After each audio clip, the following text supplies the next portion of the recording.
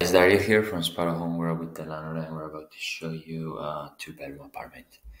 So right here we have the living room and there's the television with the sofa right there and the coffee table. French door is right behind and we have two little balconies there also with the other French door. Here we have dining tables, some bookshelves. There's a nice plant in a corner and then this is the what it looks like from the other corner. There you go. Perfect. This will be your bedroom. And as you can see, we have a double bed and a nightstand with a lamp. Wardrobe right here. The window is there. We have a desk with a chair. Towels are provided and included.